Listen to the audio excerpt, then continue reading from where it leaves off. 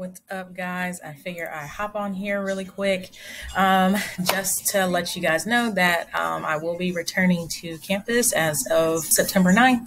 Um, but what I am going to do is that I'm going to, up until that point, I'm going to figure out how to manage the class because it's a lot of y'all. so I don't know how comfortable we'll be sitting with a class of 38 bodies in there. So, um, but if not, worst case scenario, we'll just make it work and we'll do what we'll do. All right. So I have posted one of your first study notes. It only just cap- chap- uh, covers chapters one and two only. Uh, chapter three will uh, be separate, and then I'll post some additional learning material for you uh, later on this week for chapter three. So um, definitely go into your ebook through Brightwave. Um, and you're going to cover, uh, well, we are covering, like I said, uh, chapters one and two as far as um, as far as the book is concerned. Um, definitely read all points. Um, definitely, maybe you have flashcards. Definitely go ahead and get your flashcards and start remembering this stuff because kinesiology is complex, but it doesn't have to be. Okay, it does not have to be. We could just breeze right through it and then we just memorize everything. However, do not be ashamed if there's some things about this content that you will not remember. Okay, I didn't start getting comfortable with kinesiology until after I finished my master's degree, and this was almost 10 years ago. So uh, definitely just pace yourself and be comfortable with it. But I just want to let you know that this content will move fast um, as we start out with the overview of what kinesiology is at the very top. Okay, and as you scroll through your ebook, you're going to notice the different anatomical positions or the fundamental position. All right, they're two different concepts just based on the hand positioning. All right, and you're going to scroll on down. Let me move my camera where it talks about uh, the different positions that you'll have I guess my camera don't want to move. Um, but the different positions on this page um, as far as anatomical or fundamental positioning. All right, so now you're going to move over to reference lines. Not going to go too deep into that, um, but this is very important content you need to know, especially when we're talking about direction. Um, also, we talk about uh, the different anatomical uh, directions when we're talking about medially and laterally. Um, you know, you never want to forget that your lateral is towards the outside and the medial is always towards the midline. That's how I always remember it. Medial, lateral. Easy, right? Okay, so also we're talking about uh, definitely uh, still referencing uh, alignment and positioning, where it just talks about the uh, alignment or kind of like the angle alignment. That terminology you will need to know. All right, planes of motion. We know that there are three sagittal, transverse, and frontal. Um, and you definitely need to know these. Maybe you've already learned these in anatomy, um, but if not, or if you learn these in sports injury with me, you're going to relearn them again. All right. So now we're talking about the, still talking about the planes of motion. I said I'm moving fast so I could get through this. Um, and we're talking about body regions um, where it talks, where it uses certain terminology to identify that part of the body. All right, so definitely get your flashcards out and remember this. Um, and the reason why I'm telling you get your flashcards out and remember this because you will come across this stuff again in strength and conditioning with me. So please get to know it now. Okay. Um, Now, we'll talk about your skeletal system. Uh, this is very important as we will test for this, uh, just knowing the different parts of the skeleton. Um, I will provide worksheets on a separate template um, just for you to get comfortable with the bony parts or what bone is it. And you'll need to know this as we learn the muscles, the origin and insertion, okay, as well as innervation. Very important. All right. so osteology uh, is the adult skeleton consisting of approximately 206 bones. I can tell you that's a test, so definitely get to know that. Um, it just kind of covers all aspects of the bones. We talk about the skeletal function. Definitely remember that. Um, types of bones. Okay, you'll need to know that, uh, and it's ideal for you to know that in terms of uh, of muscular muscular articulation and movement. So definitely get to know about the type of bones that are available to you.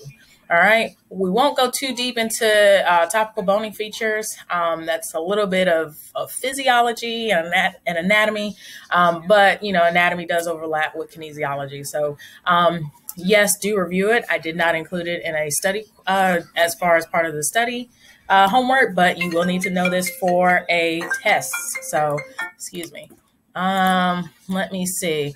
Um, we're talking about bone development and growth. Okay, children have an epiphyseal plate, all right, and it's an indicator that bones are still growing. That's how you know that you have a hand or a body of a child. All right. You have different types of joints. You have joints that are completely fixed, that they're immovable. Then you have joints that move very freely. Definitely get to know those. Um, like I said, if you have me for this class, you have me for sports injury, it will be repeating myself. So, so sorry in advance. All right. So you do have, we we do talk about range of motion. Okay. And range of motion is often measured with an instrument known as a goniometer. Okay. Uh, so it's a unique object. I don't have one in my office, at least I don't think, but I think Dr. Washington does. And we'll, once I return to campus, uh, we'll review what that particular object is. Like I said, I'm not going to stay concentrated too much on chapter one. Just make sure that you are very familiar with these terms. All right. Now, what I'm going to do, I'm going to move on to chapter two. where chapter two talks about the function of uh, I can scroll down to. It's a lot in chapter one. All right, where it talks about a little bit of the uh, neuromuscular fundamentals of muscle. Okay, meaning we're covering motion, we're covering direction, we're covering a little bit of levers, and we're talking about innervation. All right, innervation is basically um, the nerve responsible for the stimulus response to that muscle. All right. So, um, like I said, I'm not going to go too deep into this. Uh, make sure that you review muscular nomenclature, uh, which basically, you know, as you're learning different skeletal muscles, um, it's important for you to know how they're named, what they're named, why they're named this, uh, location, action, points, points of attachment, shape, size.